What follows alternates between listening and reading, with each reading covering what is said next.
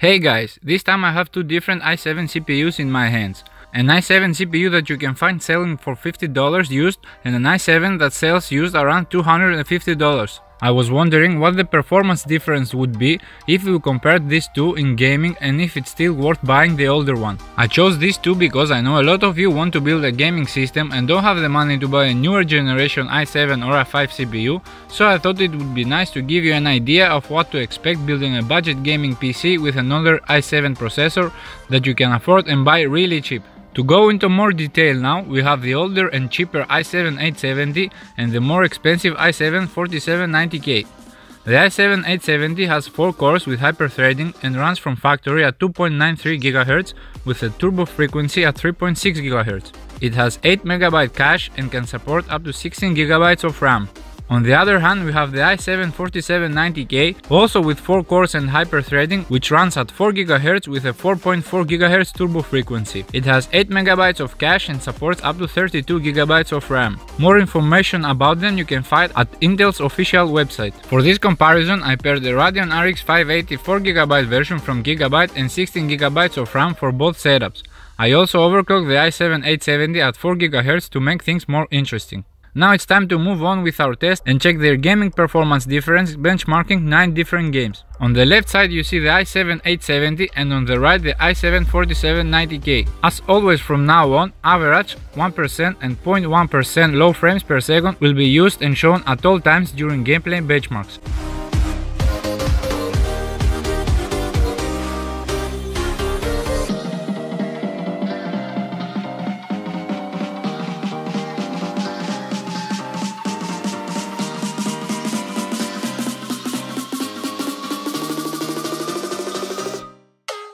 Delicious.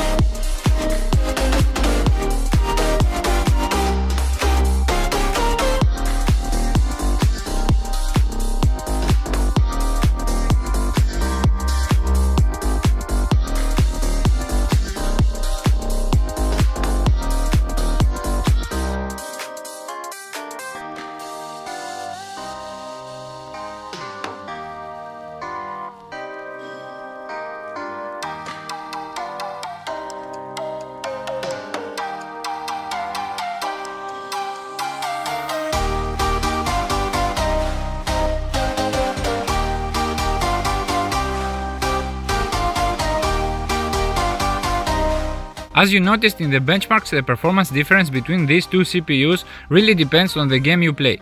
Of course the newer and faster i7 will and must perform better and is the way to go, if you can afford it, but the i7-870 is a really nice performing CPU to use in a budget gaming PC build. Sure, for some of you those few frames per second may be important and be a factor to choose, but don't forget also the price difference. The biggest difference that we saw playing was running Doom, but it still managed to keep an average of almost 60 frames per second, and the worst performance was on Project Cars, where you can always lower the graphics a little in order to hit 60 frames on average. You should be the judge if those few frames more using the newer generation i7 worth the money for your build. Let me know what you think about it in the comments below. Would you rather buy a faster and more expensive CPU or invest that money on other hardware like better GPU or more RAM for example? Thank you for watching this video, I hope you find it useful. Don't forget to like and subscribe. See you in the next video.